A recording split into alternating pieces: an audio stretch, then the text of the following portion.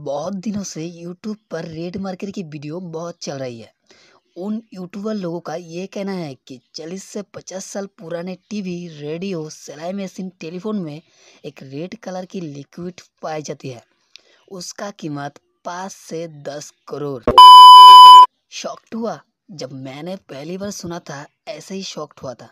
Video को आप and तक देखना। इस रेड मार्केट की पूरी सच्चाई के साथ डिटेल्स में बताऊँगा। उन लोगों का ये भी कहना है और गूगल पर भी वायरल कर दिया कि ये रेड मरकरी परमाणु बम बनाने में यूज़ होता है। कुछ लोगों का ये भी कहना है कि इस रेड मरकरी से कोविड नाइन्टीन का वैक्सीन बनाया जा सकता है। और सोशल मीडिया में ये भी वायरल हो चुकी है कि इस रेड मरकरी की थ्री टेस्ट से चेक कर सकते हैं। पहला, अगर आप लोशन को मरकरी के सामने ले जाते हो तो मरकरी दूर भागता है। दूसरा, अगर आप गोल्ड को मरकरी के सामने ले जाते हो तो मरकरी गोल्ड के साथ चिपक जाता है। तीसरा तो और भी खतरनाक, अगर आप मरकरी को मिरर के सामने ले जाते हो तो मिरर में आपको मरकरी दिखाई नहीं देगी।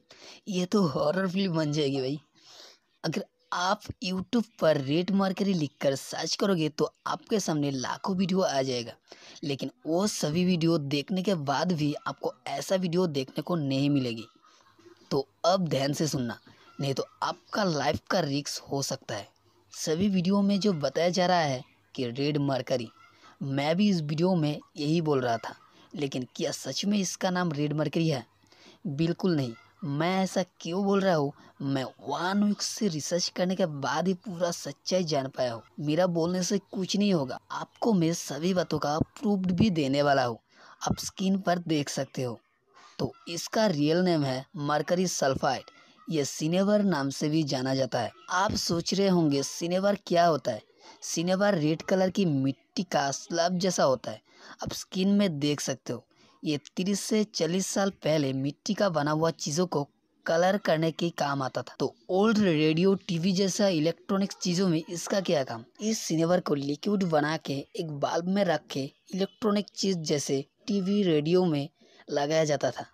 इस बल्ब का नाम है डायोड और ट्रायोड बल्ब। ये electrical engineering associate professor doctor Ujjwal का कहना है। उसके बाद आता है टीवी और रेडियो में पाई जाने वाली ट्यूब में क्या सच में लोसन गोल्ड मीरो टेस्ट काम करता है? इसका सही जवाब है नहीं। अब आपके माइंड में ये भी आ रहा होगा तो यूट्यूब वीडियो में वो वाली टेस्ट कैसे करता है? तो आपको मैं बता दूँ, ये सब इंडियन जुगाड़ करके व्यूज़ ले रहा है।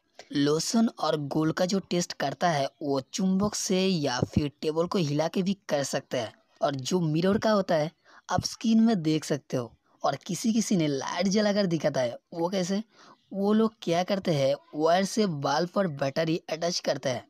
उसके बाद नीचे से पैरों की मदद से प्रेस करता है और लोशन या फिर गोल्ड को सामने ले जाता है। प्रेस करने से बल्ब भी जलता है और आप भी चुतिया बन जाते हो। अब बात करते हैं करोड़पति के बारे में। क्या सच में आपको टीवी और रेडियो के बल्ब से पैसा मिलने वाला है?